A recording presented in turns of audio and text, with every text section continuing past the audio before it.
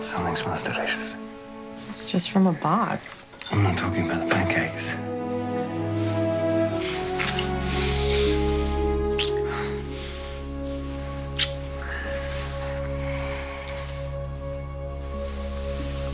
What? I'm just happy. It still surprises me sometimes. I know, me too.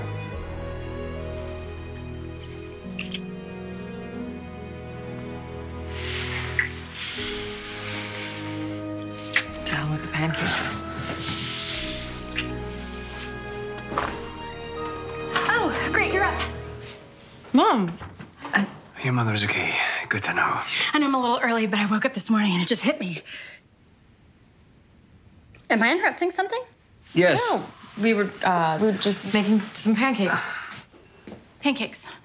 Right. Uh, maybe I should come back after you've had pancakes. Don't worry, I've lost my appetite. I have to go and have a quick embracing shower. Well, Mom, as much as I love our unexpected visits, is there something pressing today? Wedding planning. Um, I have been putting together a few ideas.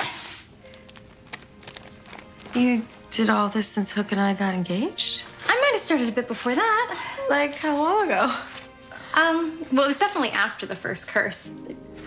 Look, I know I'm excited, but can you blame me? I have missed a lot of the milestones in your life, Emma. I want to make the absolute most of this one. Me too, Mom.